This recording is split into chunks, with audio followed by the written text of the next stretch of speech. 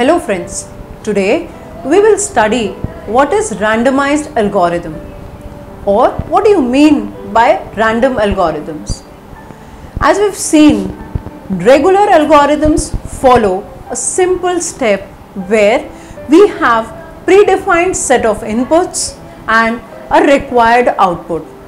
So any such algorithm which has a predefined input and the required output and follow a suggested step that is those are the prescribed sets which have to be followed then those algorithms are known as deterministic algorithm. Now what are deterministic algorithm? Let's see a little graphically.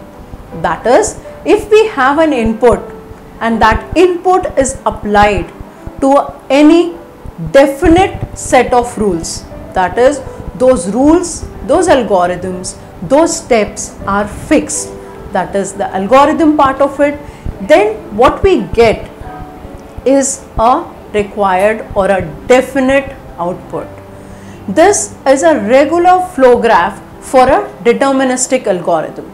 Now this is given in a statement that the output or the running time are the functions of input. We define these algorithms, we design these algorithms that for this particular specified input this is a desired output. There is nothing new that comes into picture when I use a given algorithm. Now what happens when this deterministic algorithms are changed or introduced with some random variables? Then comes into picture is a randomized algorithm. Now what happens in a randomized algorithm? we have the input but in the algorithm part we introduce something known as a random bit. Random bit is a bit which is generated by itself by an algorithm which is designed to produce random numbers or random inputs. So that gets added to your input and changes the nature or the required output. So, it is defined as the output or the running time are functions of input with the random bit chosen. Now, why do we need a random algorithm? What happens is a randomized algorithm for any problem is usually simpler and more efficient than deterministic algorithm. Now how do we say this? Let's take an example for the different types of randomized algorithm but before that we will have a look the names of a randomized algorithm. The names of randomized algorithms are the first one is a Las Vegas algorithm. Now what does it do? It has a significance that its output is always correct and the running time is a random variable and the third one which says that when my running time is on random variable for the Las Vegas algorithm the output is always correct and an example of it is randomized quicksort. The probability or the running time for the quicksort exceeds twice as the expected time and it is less than n raised to the power of minus log log n. So, we see how much it is reduced. And the second one is a randomized Monte Carlo algorithm. It is little inefficient then we can say, not that inefficient, but it is little less efficient than the Las Vegas as the output may be incorrect with some probability and the running time is deterministic. So the example is the randomized algorithm for approximate median. Now let's take an example for sorting. Now deterministic algorithms for sorting are the heap sort and the merge sort. What happens in a heap sort?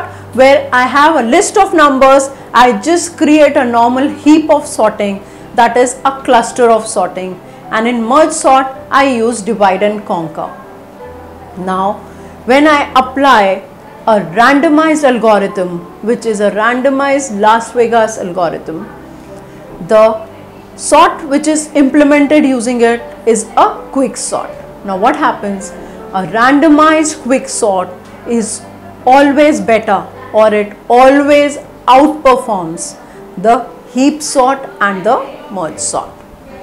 Now what is a minimum cut which is implemented using the randomized algorithm?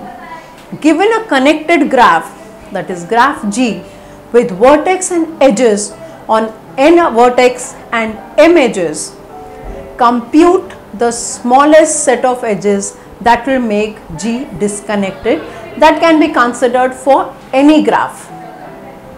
The best deterministic algorithm is Stoer and Wagner in 1997 which has a time complexity of big O, Mn and the randomized Monte Carlo algorithm by Karger 1993 has a time complexity of big O m log n.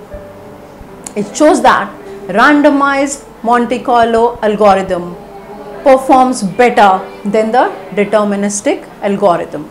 But the error probability in the Monte Carlo algorithm is n raised to the power of minus c and minus c is the cut that we require in a minimum cut algorithm.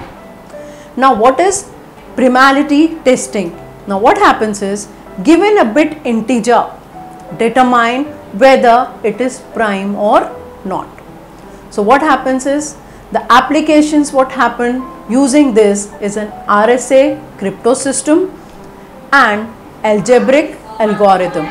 So the best deterministic algorithm for this is Al Agarwal, Kayal and Saxena in 2002 with a complexity of big O n raised to the power of 6 and the randomized Monte Carlo algorithm by Rabin in 1980 gives us a time complexity of big O k n square.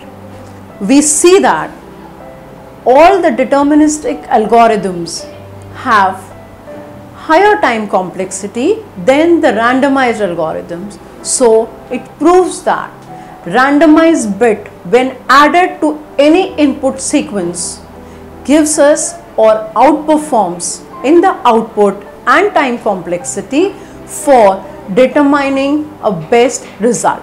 Thank you.